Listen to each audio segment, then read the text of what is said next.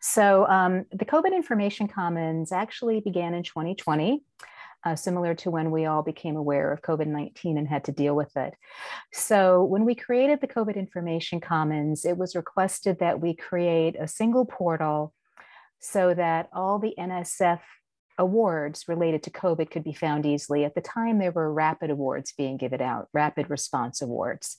When they initially contacted us in March of 2020, um, we looked it up and there were only 32 awards at the time that were COVID Rapids. Now there are many. Uh, so we uh, they asked us to create this portal, which we did, which quickly became a community. We kicked it off in July of 2020 and we had about 170 people that joined the event, which really surprised us. What was also surprising and wonderful is that we had 42 PIs that had NSF COVID awards asked to present their research, which was great. So we immediately said, well, welcome to the COVID Info Commons portal and community. we will have these webinars until you're all done presenting, and that hasn't happened. And there are more awards being given out. So um, we actually have a few different features, um, as Lauren is showing. Thank you. Um, we currently have the NSF COVID Awards and PI database. Um, when we about a year ago, we had about 990 awards to the end of last year. Now, with our COVID Info Commons extension, we actually update the corpus every month, and now there are 1,770 awards, all NSF at this point. We invite NSF and NIH speakers, PIs to present on these webinars. And our plan is to add the NIH COVID awards to the corpus in second quarter of this year. And that's part of the extension program that we have going on.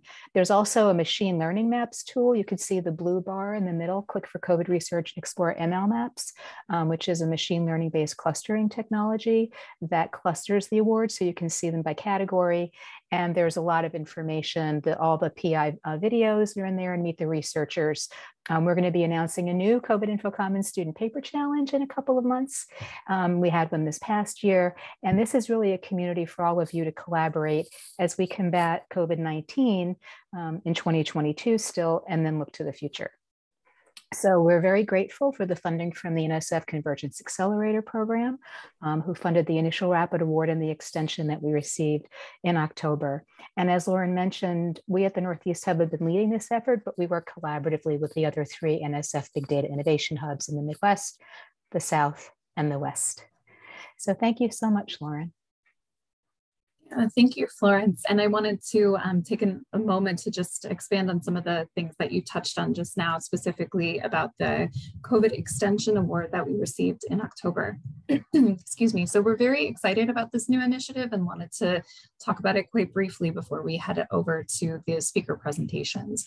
So as of October last year, the CIC received an additional $2 million in funding from the NSF to support our new COVID Information Commons extension for pandemic recovery program. And as Florence noted, the CIC was initially established in May of 2020 to facilitate information sharing, collaboration across NSF funded COVID research efforts. and by extending the CIC effort to include these pandemic recovery phases, excuse Lauren, me. I can take over um, if you need me to. We've both been going through coughing. Just let me know. Thank you. Um, yeah, I don't know what it is, just a small cold. Um, by, but in any sense, um, what I was going to say is by extending the kick effort to include this pandemic recovery phase, the extension will reach an even greater audience. That's our hope, um, to reach a more diverse community of COVID researchers. And this would potentially include NIH or CDC researchers, um, including those that are funded through the American Rescue Plan Act of 2021.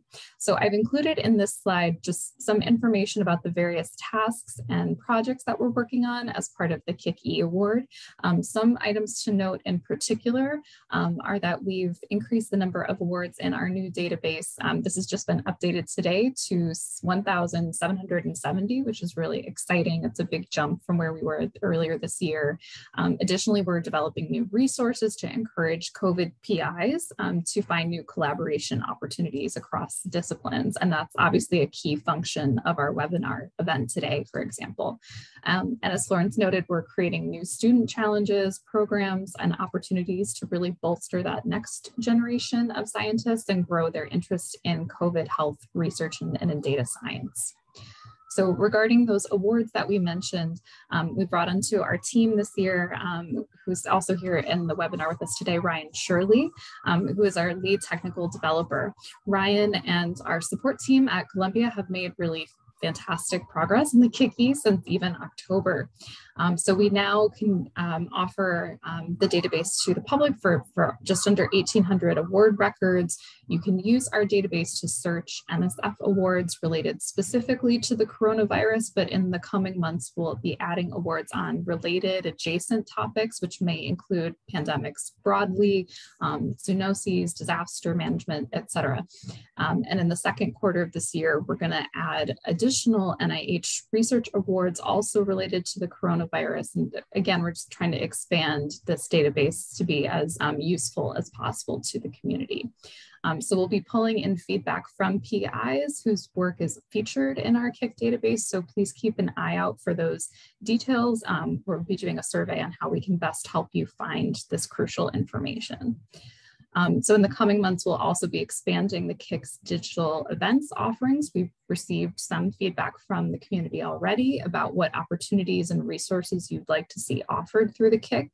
Um, we're hearing that you would like us to offer more networking, um, collaboration opportunities. So we'll be facilitating those and uh, stay tuned.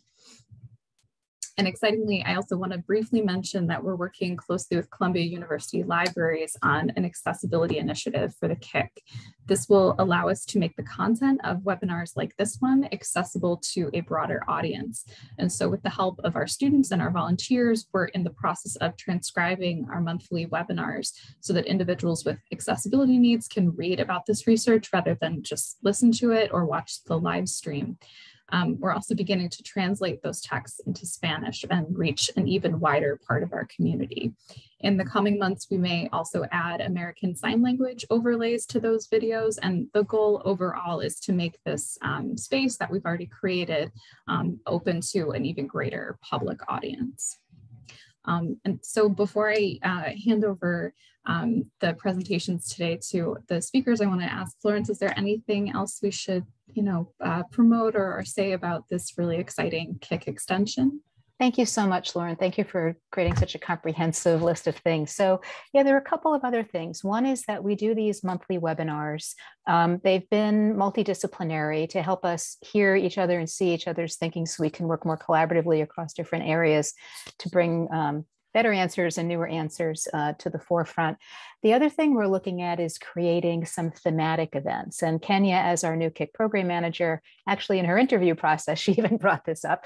And so we discussed it with NSF yesterday in our monthly call with them, and they really like the idea of, you know, let's give it a try, like if we have a, a special theme. So if any of you have ideas um, on like one of these kick webinars uh, that we could do maybe in April or May. If there is a thematic area you would like us to focus on, either have like some type of presenter we bring in, um, or it's, you know, the PIs in, in, in that area that could be presenting their research, um, let us know if there are any areas like that that of interest that are of interest to you.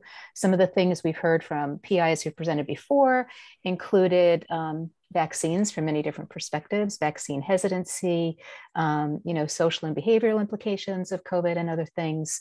So um, there are different areas we could go into, as well as, you know, zoonotics as compare as an example. So, you know, if there are areas like that that you would like to, to be one of the presenters um, or you think would be a good thematic discussion area, we can have presenters and then like we do in these CIC webinars every month, spend, you know, like you know a third to a half of the time actually having the discussion around it and seeing where we can go forward together.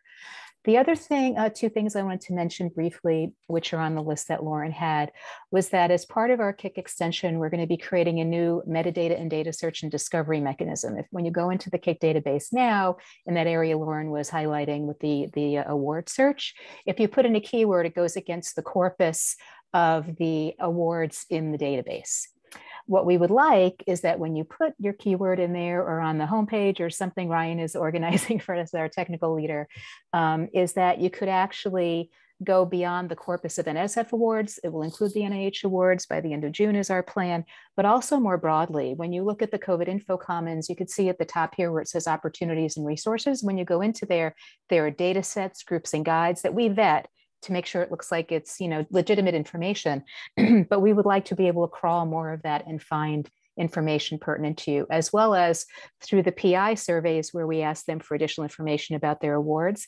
We actually link to websites with the results of their research. So what we want to do is create a more comprehensive metadata and data search and discovery mechanism. We're going to be working with some of the Open Knowledge Network, OKN, um, projects in this area. Some of you may have gone to the NIH ODSS, for those of us who love acronyms, uh, discussion last week, where the National Institutes of Health, um, the Office of Data Science uh, Strategy was talking about some of their new initiatives. So there's a lot of collaboration we can do in this space to bring the content you need to you. So that's an important thing. And then the other thing is that um, we're planning on doing an annual conference as part of the ongoing uh, COVID Info Commons plan. Um, and we're thinking that we would integrate the student paper challenge with that. So if you have any thoughts on that, um, we were hoping to do it in person with the sine wave affiliated with COVID. Um, we're thinking that's not a great idea. so we're probably going to do virtual. We may try something hybrid, but that'll be planned for later this year.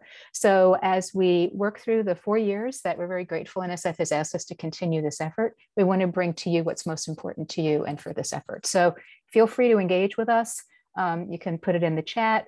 Um, I think um, Lauren has on a lot of the, uh, the slides, we have info at covidinfocommons.net. That's our email address. Go to the CIC website, put it in there. There are a lot of ways to find us, but we want to keep on working with you and we want to hear what you want. So please continue to tell us. Thank you very much, Lauren.